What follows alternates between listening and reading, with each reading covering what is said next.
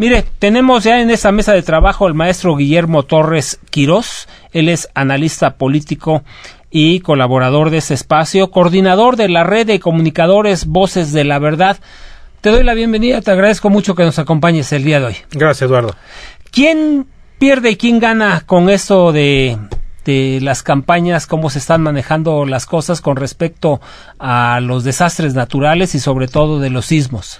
Pues mira, yo creo que la clase política en general es la más rechazada en este momento. Hay un malestar de la gente a los distintos órdenes de gobierno, los tres órdenes de gobierno, eh, haciendo críticas a cualquier partido político, porque antes uno podía localizar a un, hacia un partido, pero ahora podemos ver que es algo general. A todos, ¿no? A todo le está lloviendo duro. Como que prendieron el ventilador, pusieron el excremento de todas las vacas y vámonos a Así, regarla para todos, por todos para lados, todo el ¿no? mundo está siendo fuerte. Pero obviamente, ¿quiénes son los más afectados? Los que están ejerciendo algún cargo público con intención a seguir siendo eh, funcionarios de cargos de elección popular. O que quieren la presidencia de la la República. presidencia ¿no? o quieren la jefatura de gobierno, ¿no? Digo, que la han venido buscando durante más de 18 años, pues a soltarle a todo lo que puede, ¿no? Crear desconfianza. Claro, eh, a ver, es una es un río revuelto y habrá ganancia de pescadores, aunque aquí habrá algunos, como por ejemplo el jefe de gobierno, que había anunciado su salida, ya eh, pues, Había dicho que para el, el 17 mes de octubre, octubre, sí, ¿no? para el 17 de octubre era fecha. iba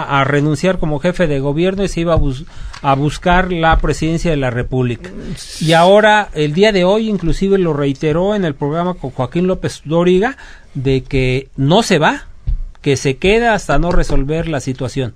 Sí, claro, y así como ese caso tendríamos al secretario de Educación Pública, Aurelio Nuño, o a José Antonio Sí, Mide de pero. Aurelio Nuño no ha dicho eso. No, pero, ¿Tú crees pero que el jefe de gobierno, bien.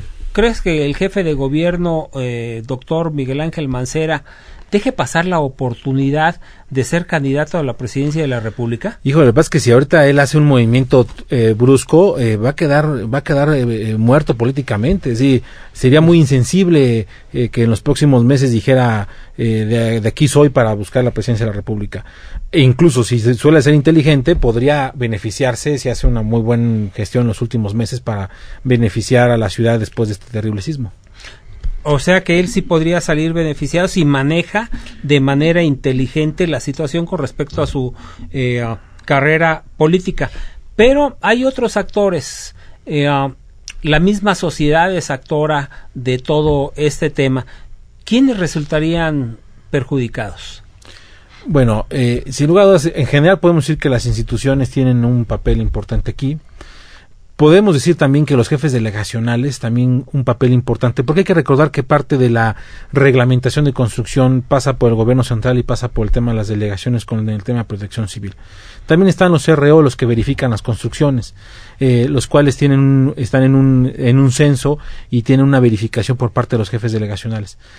Por lo tanto, los jefes delegacionales cumplen un papel importante en esta parte y también son perjudicados, porque si se descubre que alguno dio un permiso chueco, pues es su tumba política.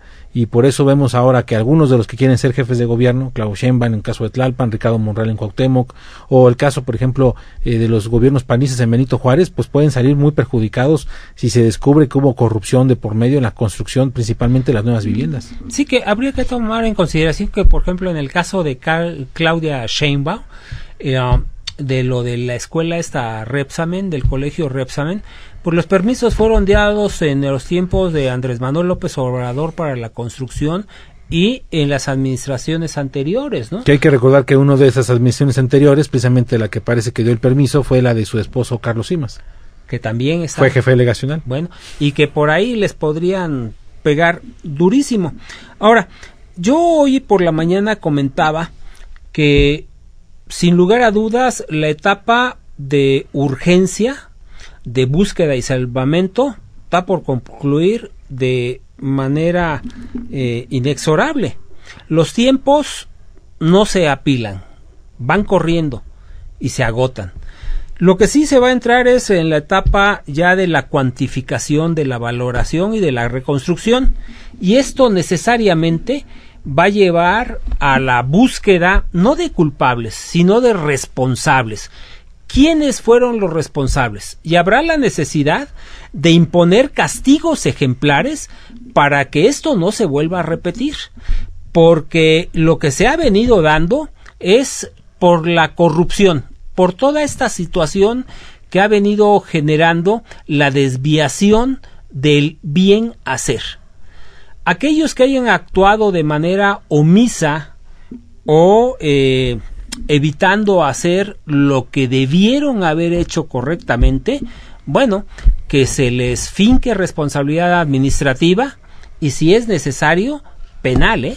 porque si no se pone un ejemplo claro de que no se va a seguir tolerando este tipo de actitudes, mire, nos vamos a seguir tropezando una y otra y otra vez con la misma piedra.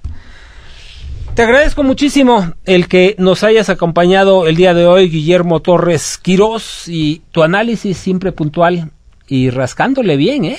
Te agradezco mucho, mucho, Eduardo. Soy Eduardo Ramos Fuster, agradezco el favor de su atención. Lo invito a que siga el periódico El Punto Crítico en www.elpuntocrítico.com. Nos escuchamos mañana.